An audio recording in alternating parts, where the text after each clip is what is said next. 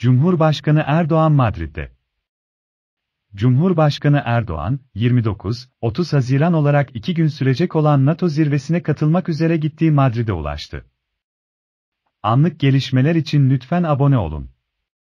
Express Haber sundu.